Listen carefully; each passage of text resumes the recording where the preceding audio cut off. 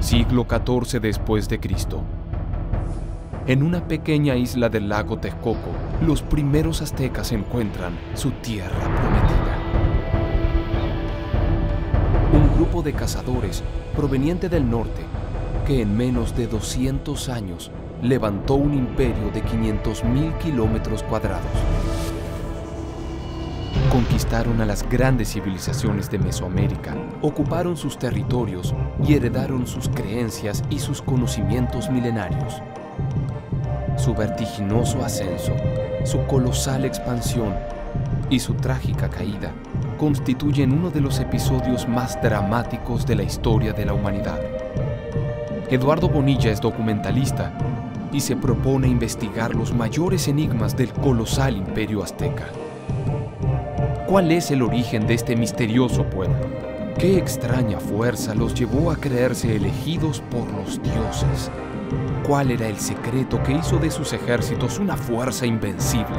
¿Y por qué en apenas dos años cayeron ante un reducido grupo de españoles?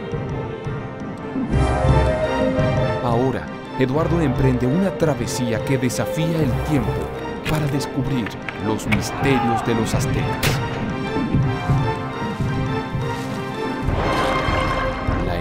Exploración comienza.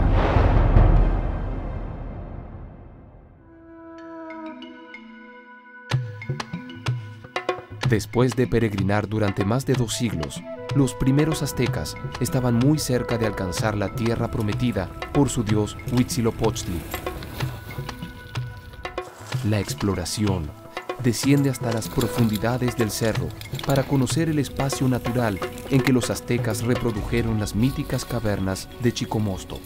Esta oquedad se, se llenaba de agua durante la época de lluvias, el drenaje viene a dar aquí y creemos que esto fue significativo para ellos y que pudieron haber depositado ofrendas esencialmente al agua, pero al agua del inframundo. Vamos a descender, vamos a ver qué encontramos todavía de materiales. Allá abajo exploramos un poco. Los aztecas asumieron la responsabilidad cósmica de asegurar el triunfo del sol en su lucha diaria con las fuerzas oscuras del inframundo.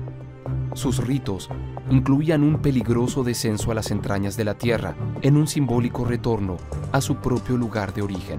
Entonces, estas, estas cuevas no nada más tienen una función religiosa, sino también política, porque de la clase gobernante, que se legitima a partir de los rituales y de los lugares de origen. Y en ese recinto sagrado celebraron el ritual que garantizaba que el sol siguiera vivo, imponiéndose en lo más alto del poder de Mesoamérica.